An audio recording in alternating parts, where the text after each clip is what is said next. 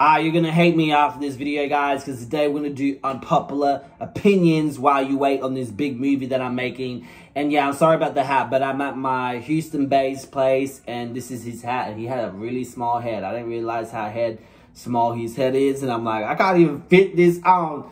So the first unpopular opinion I have is that I think it's okay for straight men to say depending on how you use it, okay? If you're gonna go to someone and you try to use it as insult, then yeah, you deserve to get backhand. But if you say it as a joke, like you call one of your straight friends who's straight a F A G G A T, I think the ish is hilarious. I remember a YouTuber, I think it's Mark as a live streamer. These two guys were arguing and he said, you guys are being faggots. Like he did it in such a way that it was just funny. I don't know, I have tried to roll the clip, but I think it's okay to use it. It just really depends how you use it. And as someone, I guess, who's a part of the LGBT, I approve, man. And I think it's okay. Just depends how you say it. I don't think the gay agenda exists. I think that is just bullish that the far right or is it far left? I don't know. I'm confused. I feel like it's the religious group of people that have really pulled this up. And there's some unreligious people out there that are going around saying that there's like this gay agenda to make people gay. It's like that doesn't make sense because how did the other people turn gay years ago?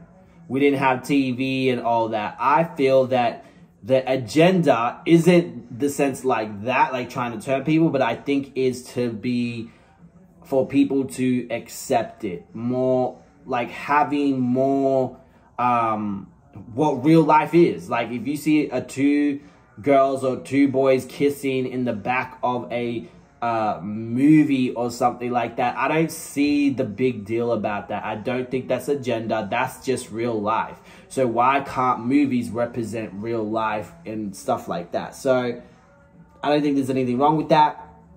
I think people who feel that there is an agenda feel some type of way because they still deep down don't accept it. Unless you guys can show me some evidence or something like that, I will gladly look into that because hey, maybe it is an agenda out there to depopularize every the population by making them gay, but I just really highly doubt it. I think that is just all boo-ish. My next one is that I'm not going to take the Vaseline. My body, my choice. If you want to take Vaseline, that is completely up to you. You feel me? I'm not anti-Vaselines. If you want to take it, you can take it, you know? I just feel like you know what, go check out my TikTok and I'll make videos on there. I won't go into more detail about it on here because I don't know, but I'm not taking the Vaseline. I don't feel I should take the Vaseline. And yeah, you can go check out my TikTok. America is really separated. Like, I'm talking about the la not everyone, but the majority. I feel like Latin Americans want to stick to themselves, Black Americans want to stick to themselves, White Americans want to stick with themselves, Asian Americans want to stick with themselves. It's like, oh my God, you're not Latin, I'm not gonna date you. Oh my God, you're not black, I'm not gonna date you because like you're just, you're totally different. And I feel like people are purposely avoiding the other race because of prejudices that they have or opinions that they have or they have some self of uh, prejudice towards that other race. When I come to America, it's like I have to choose. It's really annoying. It's like, oh, so are you black or you're white? And I'm like, well, technically I'm both. No, you can't be both. Like, are you black? Like, there was this guy. He obviously looked black, but he obviously looked Greek. And he's actually a lot more paler than me. Like, he doesn't even look tannish, you feel me? So he, but his hair is very, very, very coarse, tight curls, and his nose has, his, he has the feature, his nose has a black, he has a black featured nose. So you know he's got some black in him. Now, other people in America will say, oh, well, he's white. He's white. He's not black. He can't claim it, blah, blah, blah, blah. You know what I'm saying? Like, people love to be separate. Even the gay community loves to be separated. But I'll get into more into that later. But it's like, geez, like, you really want to, like, pick this person's ethnicity and put everyone in groups. Like, who gives an ish? You feel me? And I feel like America Americans are really big on that and subconsciously really big on that and just want to be separated and I'm better than this, they're better than that, they're trash, they're bad, I'm good. Like it's just really ridiculous and childish. Like I feel like I shouldn't have to pick. It just is. And if you don't F with me, you don't F with me. Bye Felicia. Like why should I care, bro? And um yeah, it's very interesting how people ask me that there was a white person that asked me that. I was shocked. I was like, really? You asked me that? Why you asked me that? I've never, he's like, everyone asked that in Atlanta. I was like, but why does it matter? Like, it was just really weird. So I'm not going to pick because it doesn't make sense. Like some people are going to treat me differently of what they perceive me as. Some people perceive me as a mixed boy. Some people perceive me as black. Some people perceive me as white everyone treats me differently. So what the F am I? You feel me? So it's like, it's just stupid at this point. Yeah, let me know in the comment section below if you experience this in America, the whole separation thing. Like I noticed everyone likes to stick to themselves. Like even in the gay community, for example, in Playa del Carmen, the gay people, the straight people, everyone's partying together. No one gives a shit. Like that's what I love about Playa del Carmen. Like some people come and they create gay clubs and stuff like that, and you go and it's like no one there because everyone is mingling with each other. You feel me? While it's like pronouns, I'm gonna hurt a lot of people's feelings. I really don't like people insulting my intelligence.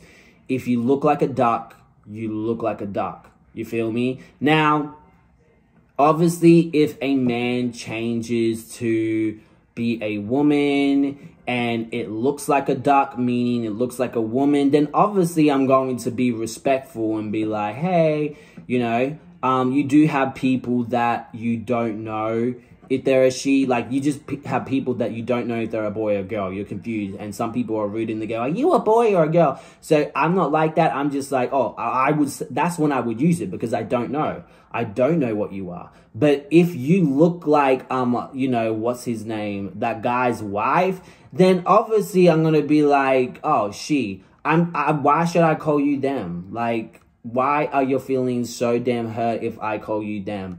Um, what else? if I don't call you them or call you something else. I just, there's only two genders. I don't believe there's other genders out there. Oh, of course, you got people who got both. But, like, there's not, like, a cat. There's no alien names out there. And I just feel it's really annoying when people feel like they're so special and you need to call them this and call you that. It's like, pull your head out of your ass, bro. Like, no.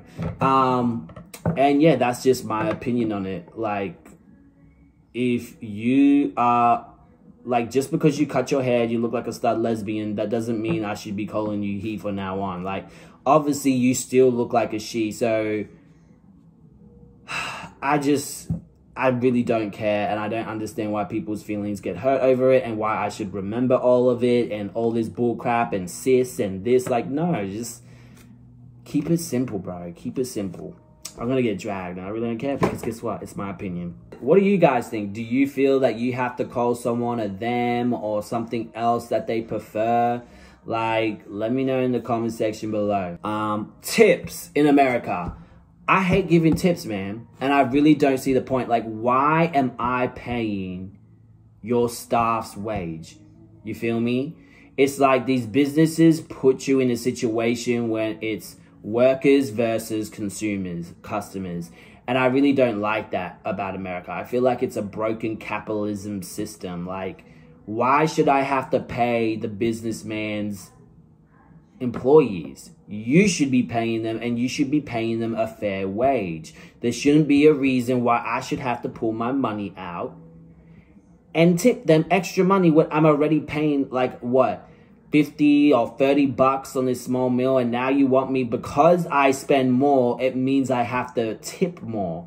Like what type of discrimination is that? Is because you think I have money, I should be tipping more? Like that could have been my last $30. You don't know that. Why should I have to tip more money 10% of what I gave. Like, I just think that is trash. I, I really don't like that. I don't like tipping.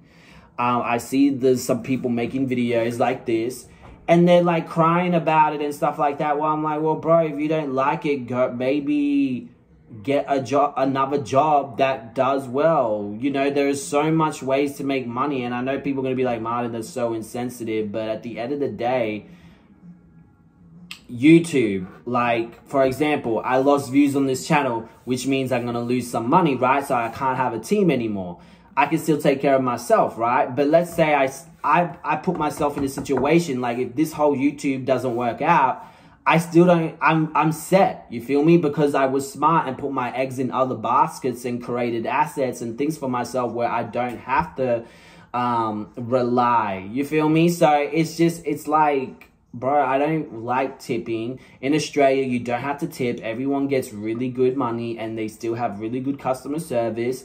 People are getting like 20 or 19 bucks an hour and they're a damn waitress. Like, why why are waitresses in America getting like three or two dollars? That doesn't make sense to me. That's like really crazy to me to be honest but honestly let me know in the comment section below like do you think you should be tipping like why should you have to tip especially uber uber started asking, uber eats and uber drive started asking for tips. And i'm like bro like you already have all these fees. I'm paying all these little fees and now you want me to pay an extra tip. Like i don't like doing that. I really don't like doing that. If i go out to a restaurant i shouldn't have to tip you for what? Your employees should be paying you. So you need to go up your employee's ass instead of my ass trying to get some extra cash. Religion. Religion has been, especially Christianity, has been used to control the masses and to make money. That's what I feel like Christianity and religion is there and it has it was created years ago and it just spun out to this crazy thing now there's different forms of christianity and stuff like that there's people with superstition and all that. It's just gone out of control but i think religion christianity specifically was created to control the masses and to make money off people. I think it's another form of mind control and i think they're like a part of the illuminati. There are my seven unpopular opinions, guys. Let me know what you think. Hey guys, make sure to hit the like button, hit the subscribe button notification, and I'll see you in my movie. Hopefully it comes out this weekend. I got a lot of work to do, man. So, yeah. Peace.